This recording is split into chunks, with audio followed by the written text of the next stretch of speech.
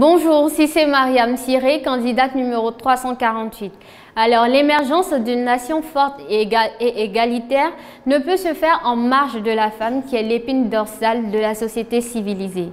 Malheureusement, elles furent longtemps discriminées par cette société qui ne voyait en elle aucun intérêt en son sein.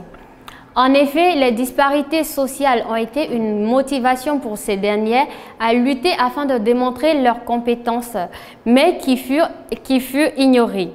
Par ailleurs, cette euh, exclusion sexiste n'a point été un handicap pour ces femmes, bien au contraire, un regain de confiance qui les mènera à un combat pour leur émancipation.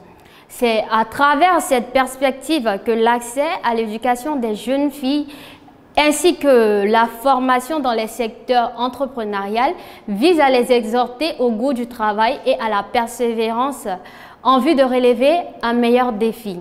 C'est en outre ce combat qui a permis à ces femmes d'occuper des postes à forte dominance masculine aujourd'hui.